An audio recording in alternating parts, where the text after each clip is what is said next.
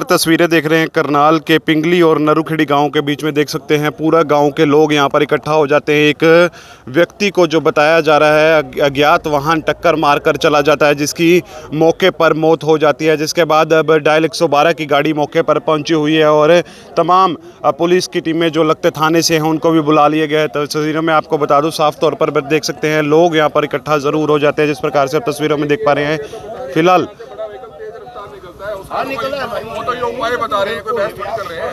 उपाय है कि बड़ा व्हीकल को कंट्रोल कैसे करें? नहीं आप रोडवेज़ पर गलत ऑब्जेक्शन कर रहे हैं, हमारे काम रोडवेज़ तो नहीं रोडवेज़ में रोडवेज़ में मान किसी को बाइक लगवा रहा इधर मेरे पर कहने कह दिया गई मुकदमा करवा कर यूँ कह देंगे यूँ सारा गलत है इसने क्यों छेड़ा मसवाड़ा वाला? ये बहस करने का टाइम नहीं वो बात कर रही बाइक फ़िलहाल देख सकते हैं ब्रेक के निशान ज़रूर हैं यहाँ पर ब्रेक के निशान ज़रूर हैं। शायद किसी बड़े वाहन के टायर जो है दिखने में लग रहे हैं और पूरी तरह से जो कुचलता हुआ काफ़ी आगे तक ले जाता है। फ़िलहाल अब शव यहीं पर पड़ा हुआ है। शव को यहाँ से करनाल के कल्पना चावला मेडिकल कॉलेज के मर्चरी हाउस में ज़रूर ले जाया जाएगा। फ़िलहाल आसपास के लोगों से भी पूछताछ जो है वो की जाएगी कि किस वाहन द्वारा कुचला गया है। फ़िलहाल अब इंतज़ार जो है यहाँ पर एक वाहन का किया जा रहा है, जिस वाहन के ज़रिए इसको करनाल के कल्पना चावला मेडिकल कॉलेज के मर्चरी हाउस में शव को ले जाया जा सके। मेरी आप सभी से अपील रहेगी, व्यक्ति की मौके पर ही मौत हो जाती है। जी हाँ व्यक्ति की मौके पर ही मौत हो चुकी है। फ़िलहाल गाँव के लोग इस तरह से इकट्ठा हो जाते हैं। डायल एक सौ बारह भी उनसे भी। फ़िलहाल आप देख सकते हैं, गाँव के ही बताया जा रहा है। मोहनलाल था, तीस से चालीस वर्ष उसकी उम्र बताई जा रही है। आप तस्वीरों में देख पा रहे हैं, शव जो है सड़क के बीचों बीच ही पड़ा हुआ है। गाँव वालों से भी जानकारी लेने का प्रयास ज़रूर करेंगे। फ़िलहाल आप देख सकते हैं पुलिस की टीम में ज़रूर मौके पर हैं। अब इंतज़ार किया जा रहा है किसी वाहन वाहन शायद एक निजी वाहन के ज़रिए जो है इस डेड बॉडी को लेकर जाया जाएगा। देख सकते हैं इस निजी वाहन को बुला लिया गया है। देख सकते हैं तमाम गाँव के लोग ज़रूर पहुँच जाते हैं। उनसे भी जानकारी लेने का प्रयास ज़रूर करेंगे। फ़िलहाल सर सर कहाँ के रहने वाले थे? कुछ पता लगा?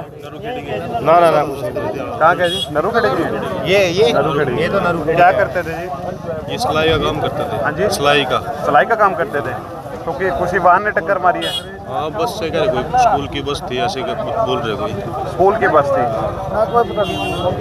नहीं पता सर। अब देख सकते हैं फ़िलहाल अब लोग जो है बातचीत करते हुए ज़रूर नज़र आ रहे हैं। अब जो डेड बॉडी है उसे यहाँ से उठाकर ले जाया जा रहा है। देख सकते हैं एक निजी वाहन के ज़रिए जो है वो इस डेड बॉडी को ले जाया जा रहा है। डायल 112 की टीम मौके पर पहुँची थी। सर आप यहाँ पर पहुँचे थे क्या जानकारी मिली थी आपको? हमारे को रोहित नाम का लड़का था उन्होंने हमारे को सूचना दी। भाई नूरू खेड़ी से पिंगली की तरफ़ जो रास्ता जाता है, वहाँ किसी आदमी को टक्कर मार दी है। ये वाहन का तो उसी ने पता नहीं, वो भी ये कह रहा है कि भाई मेरे को भी किसी ने बताया है, मैं यहाँ पहुँचा, गाँव का रहने वाला हुआ लड़का। तो सात आठ मिनट में मैं, पाँच सात मिनट में मैं पहुँच गया था तो मैंने यहाँ कोई वाहन नहीं मिला। तो ये मोहनलाल है ये नूरू खेड़ी का रहने वाला है। ये ये मेरे को डेड अवस्था में यहाँ मिला इसके बारे में जो है ना संबंधित अधिकारियों को सूचना दे दी थी। परिवार तो, के लोग पहुँचे? हाँ परिवार के लोग मौका पहुँच गए थे।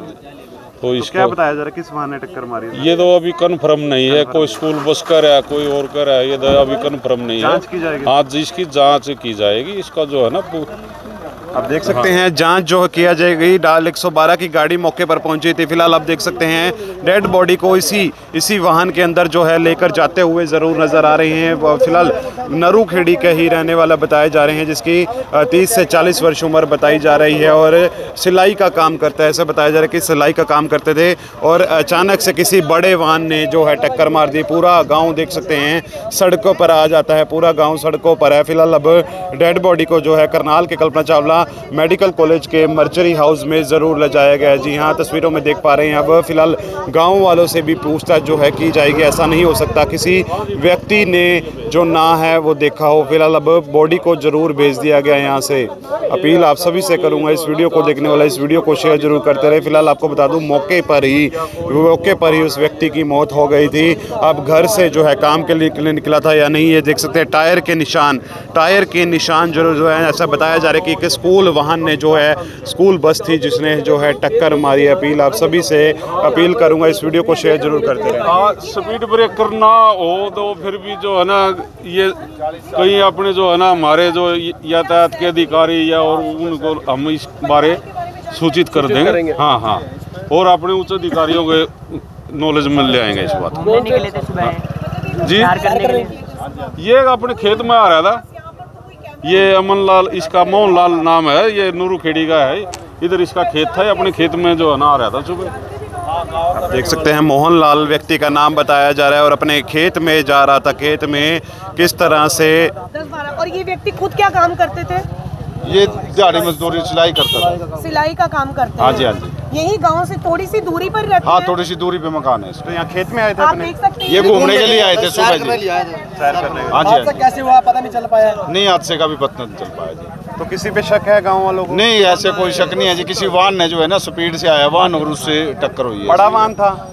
लग तो ऐसे ही रहा जी बड़ा वाहन था। टायरा की साथ तो बड़ा है जी। बस आप देख सकते हैं इस टायरों के निशान से अंदाज़ा लगाया जा सकता है कोई बड़ा वाहन था। काफ़ी ब्रेक लगाने का प्रयास किया गया है, पर ब्रेक जो है, वो नहीं लग पाती और व्यक्ति को मौके पर मोहनलाल को कुचल दिया जाता है, जिसकी मौके पर ही मौत हो जाती है। उसके बाद तमाम गाँव के लोग यहाँ पर इकट्ठा हो गए थे। फ़िलहाल अब एक निजी वाहन पर जो है, शव को करनाल के कल्पना चावला मेडिकल कॉलेज के मर्चरी हाउस में भिजवाया गया है। मेरी आप सभी से अपील रहेगी, इस वीडियो को शेयर ज़रूर करें। देख सकते हैं सुबह सुबह किस तरह से एक दुखद हादसा, सड़क हादसा देखने को मिलता है। अब गाँव के लोग देख सकते हैं, पहुँचे ज़रूर थे। फ़िलहाल गाँव के लोगों का कहना है कि यहाँ पर वाहन जो है काफ़ी स्पीड पर ज़रूर निकलते हैं। ध्यान ज़रूर देना चाहिए प्रशासन को जिस तरह से यहाँ पर तेज वाहन निकलते हैं। अब तेज वाहन कौन सा था? फ़िलहाल बताया जा रहा है कोई बड़ा वाहन था। कुछ लोग स्कूल बस पर आरोप लगा रहे हैं। कुछ लोग हरियाणा रोडवेज़ की बस पर आरोप लगा रहे हैं। अभी फ़िलहाल इस चीज़ की जो स्पष्ट जानकारी है वो नहीं मिल पाई वो पुलिस जो है इस चीज़ की जान, तफ्तीश जो है वो ज़रूर करेगी। जानकारी जुटाने का प्रयास ज़रूर करेगी। कि किस वाहन से यह हादसा हुआ, मेरी आप सभी से अपील रहेगी। इस वीडियो को शेयर ज़रूर करें।